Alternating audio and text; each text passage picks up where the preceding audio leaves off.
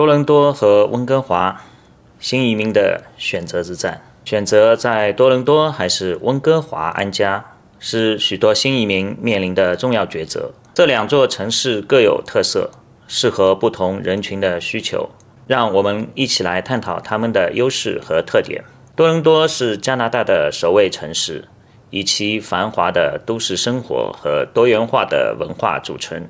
这里拥有强大的经济、丰富的就业机会、一流的教育机构以及多样的娱乐活动。对于那些寻求职业发展和热闹都市生活的新移民来说，多伦多是一个理想的选择。而温哥华则以其宜人的气候、壮丽的自然风光和高生活质量闻名。这座城市位于太平洋沿岸，提供了丰富的户外活动和亲近自然的机会。对于追求生活质量、希望在自然环境中放松身心的新移民，温哥华无疑是一个吸引人的选择。在职业机会方面，多伦多因其金融、科技。媒体和教育等行业的集中，提供了广泛的就业选择；而温哥华则以其电影产业、旅游业和科技创新闻名，为特定行业的专业人士提供了不少机会。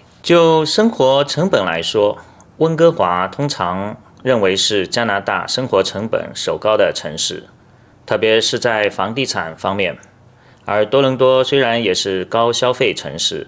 但相对来说，生活成本稍低一些。考虑到多元文化的融合，两座城市都非常包容，拥有来自世界各地的移民社区。但多伦多的多元文化更为显著，这里的文化多样性和国际化程度非常高。最终选择多伦多还是温哥华，取决于你个人的生活方式、职业规划和家庭需求。两座城市各有千秋。